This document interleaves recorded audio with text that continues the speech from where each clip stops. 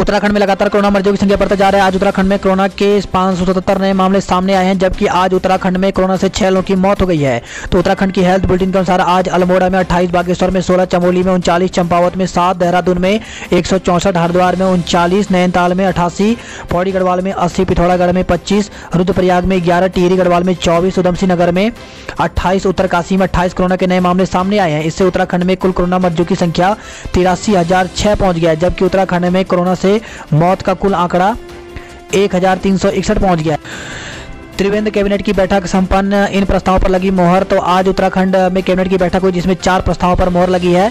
इसमें विधानसभा में शीतकालीन सत्र में चार हज़ार छियानवे करोड़ का अनुपूरक बजट लाएगी त्रिवेंद्र सरकार। कैबिनेट ने दी मंजूरी। उत्तराखंड में नर्सों की भर्ती। उत्तराखंड प्राविधिक शिक्षा बोर्ड के ज़रिए करने का फैसला एक साल के लिए होगी भर्ती। वहीं पीजी करने वाले डॉक्टर से अब गारंटी के रूप में कोई धनराशि नहीं लेने का फैसला लिया गया, जबकि उत्तराखंड पावर कॉरपोरेशन लिमिटेड की वित्तीय लेखा रिपोर्ट को कैबिनेट की मंजूरी मिल गई है।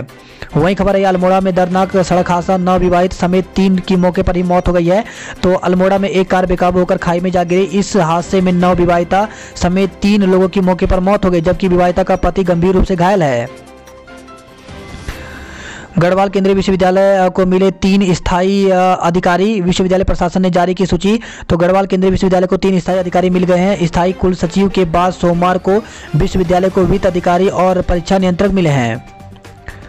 वहीं खबर है घर में लगी भीषण आग, सामान जलकर हुआ खाक। तो खबर आई है खटीमा से, जहाँ पे सीमांत क्षेत्र खटीमा के नेपाल बॉर्डर पर बसे वन मोहलिया गाँव में अज्ञात कारणों से कच्चे घर में आग लग गई। इस दौरान घर में रखा सारा सामान जल करके राख हो गया है। आज राष्ट्रीय चाय दिवस है। भारतीयों का चाय प्रेम कहीं बन न जाए मुसीबत। तो भारत में सबसे अधिक चाय का उत्पादन होता है, जिसकी वजह से भारत में पिछहत्तर प्रतिशत से ज़्यादा लोग अपने दिन की शुरुआत चाय के साथ करते हैं। हालाँकि भारतीयों में चाय के प्रति ये प्रेम एक बड़ी समस्या बनकर भी उभर रहा है। ज़ोर शोर से चल रहा ऑपरेशन थर्ड आई दून के 500 इलाकों में लगे सीसीटीवी। तो देहरादून में अब लगातार बड़े अपराध पर ब्रेक लगने की उम्मीद है। दरअसल अब शहर में 500 से ज़्यादा अपराध वाले इलाकों में प्रशासन की ओर से सीसीटीवी कैमरा लगने जा रहा है, जिससे अपराध पर लगाम कसी जा सके।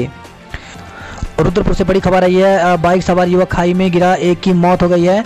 तो रुद्रपुर से खबर जहाँ पे अगस्त मुहे थाना क्षेत्र में रामपुर के पास केदारनाथ राष्ट्रीय राजमार्ग पर सोमवार को बाइक सवार दो युवक खाई में मंदाकिनी नदी में गिर गए। राहगीरों में मामले की सूचना पुलिस को दी। अगस्त मुनि पुलिस ने मौके पर पहुंचकर बाइक सवारों की खोजबीन की।